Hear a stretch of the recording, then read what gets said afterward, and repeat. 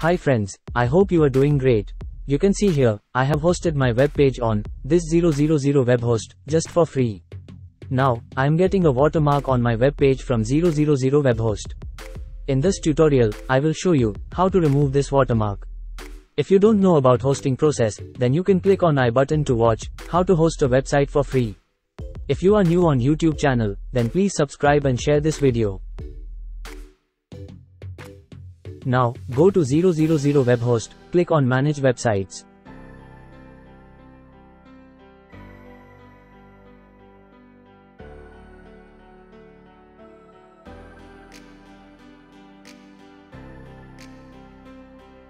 Now, go to file manager. Click on public HTML folder, where you have hosted your website. Select the web page from you want to remove the watermark. I will choose here index HTML web page. Now in body, I will write JavaScript code to remove watermark.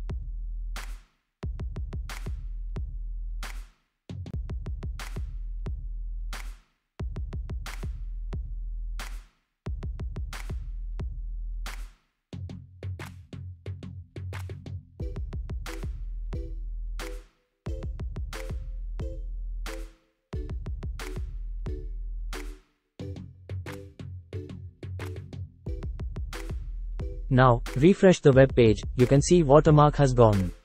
I hope you like this tutorial. Please like this video and subscribe. Thanks.